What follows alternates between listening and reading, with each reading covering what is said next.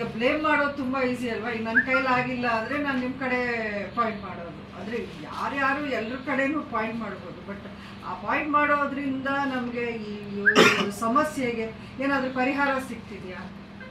ಈವರೆಗೂ ಸಿಕ್ಕಿಲ್ಲ ತಾನೆ. ಅದೇ ಪರಿಸ್ಥಿತಿ ಕಂಟಿನ್ಯೂ ಆಗ್ತಾ ಇದೆ. ಅನ್ಯಾಯ ಯಾರಿಗಾಗ್ತಾ ಇದೆ ಇಲ್ಲಿ? ನೇಮ್ ಯಾರು ಬೇಕಾದರೂ ಮಾಡ್ಕೋಬೋದು. ಈಗ ನಾನು ಆವತ್ತು ಜಲಶಕ್ತಿ ಮಿನಿಸ್ಟ್ರನ್ನು ನಾನು ಮೀಟ್ ಮಾಡಿದ್ದೆ. ಪ್ರಧಾನಮಂತ್ರಿಗಳನ್ನು ನಾನು ಮೀಟ್ ಮಾಡಿದ್ದೆ. ಎಲ್ಲ ಪರಿಸ್ಥಿತಿನ ನಾನು ಮನವರಿಕೆ ಮಾಡಿಕೊಂಡಿದ್ದೆ. ಅವ್ರು ಸ್ಪಷ್ಟವಾಗಿ ಹೇಳಿದ್ದಿಷ್ಟೇ.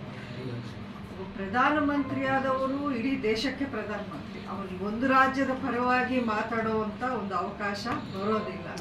ಬಟ್ ಇಬ್ಬರು ರಾಜ್ಯ ಸರ್ಕಾರಗಳು ಒಳ್ಳೆ ಒಂದು ಈಕ್ವೇಷನ್ ಇರೋದ್ರಿಂದ ಅವರು ಒಂದೇ ಒಂದು ಅಲಯನ್ಸ್ ಅಲ್ಲಿ ಇರೋದ್ರಿಂದ ಪರಸ್ಪರ ಟೇಬಲ್ ಕೂತ್ಕೊಂಡು ಮಾತಾಡೋಕ್ಕೆ ಏನು ಕಷ್ಟ ಅಂತ ಹೇಳಿ ಮೇಡಮ್ ಅದು ಅದು ಆ ಥರ ಮಾತಾಡಿದ್ರೆ ನಮ್ಗೆ ಯಾವ ಅಭ್ಯಂತರನೂ ಇಲ್ಲ.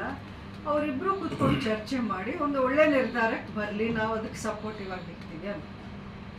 ಅಲ್ಲ ಮೇಡಮ್. ನಿಮಗೆ ಒಂದು ಸಿಂಪಲ್ ಆಗಿ ನಾನು ಹೇಳ್ತೀನಿ. ಈಗ ಒಬ್ಬರು ರಾಜ್ಯಕ್ಕೆ ಚೀಫ್ ಮಿನಿಸ್ಟರ್ ಅಂತ ಇಟ್ಕೊಳ್ಳಿ.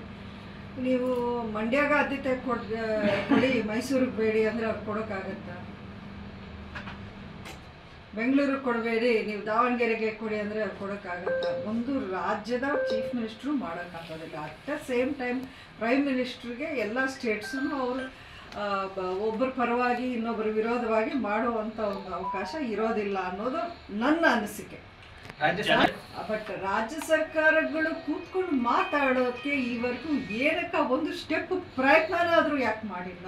ಈಗ ನಾವು ಒಂದು ದೊಡ್ಡ ದೊಡ್ಡ ವಿಷಯಗಳು ಬಂದಾಗ ಪರಸ್ಪರ ದೇಶಗಳು ಅಂದ್ರೆ ವಿರೋಧ ದೇಶಗಳು ಪಾಕಿಸ್ತಾನ ಇಂಡಿಯಾನ ಕೂತ್ಕೊಂಡು ಚರ್ಚೆ ಮಾಡಿರೋ ಒಂದು ಸಂದರ್ಭ ಇತ್ತು. ಅಂಥದ್ರಲ್ಲಿ ನಾವು ತಮಿಳ್ನಾಡು ಜೊತೆ ಮಾತಾಡೋಕ್ಕೆ ಏನಕ್ಕೆ ಇಷ್ಟು ಯೋಚನೆ ಮಾಡಬೇಕು?